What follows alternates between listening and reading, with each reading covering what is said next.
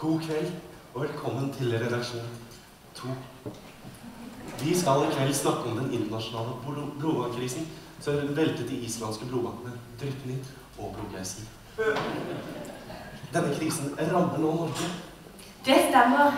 På Aker Brygge servert champagnespruten nå er byttet ut med blodsprut. Og slipsene henger ikke lenger på meglerne. Meglerne henger i slipset. Blodtørsten i de norske sykehusene er nå blitt så ekstrem at næringslivet har hatt et interesse for å hjelpe helsevesenet. Produktene Always og Libress skal nå bli resirkulerbare og suge seg enda mer blod enn før. Det er altså en gjenvinningsordning som settes i gang for bl.a. aktivitetsbil. Den såkalte blodbøtta.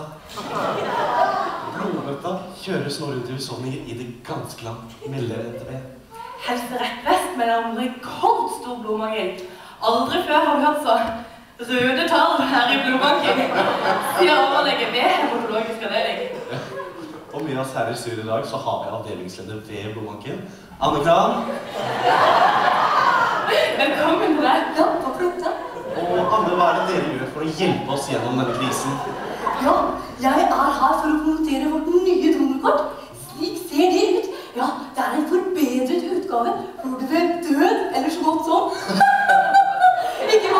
bare, returnere samtlige av dine organer, men også ditt røde gullet, ja.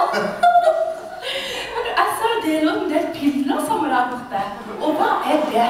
Ja, dette er blodfortynner. Det gir oss litt mer tid når uhell først er ute. Ja, ja. En manns død er en annen manns brød. Ja, du får så sagt det, Signe. Det var alt for i kveld. Tusen takk for oss.